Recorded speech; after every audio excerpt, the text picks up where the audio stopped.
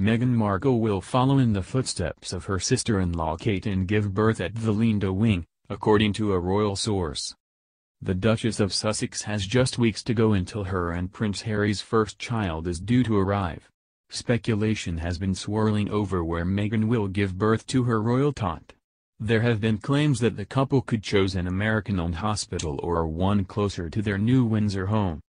But Meghan and Harry have decided the exclusive maternity unit at St. Mary's Hospital in Paddington is the superior choice.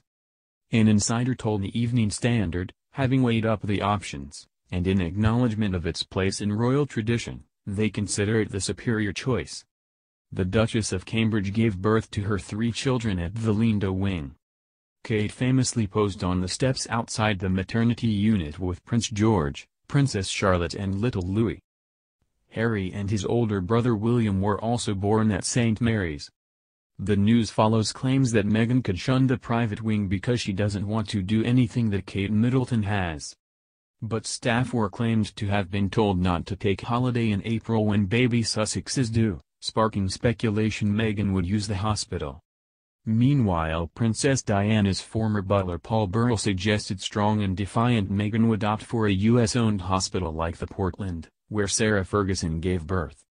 Meghan was also said to be looking at Frimley Park Hospital in Surrey, favored by the Countess of Wessex.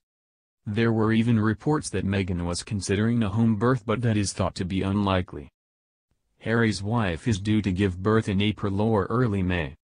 The royal couple are due to move to Frogmore Cottage ahead of the Tot's arrival.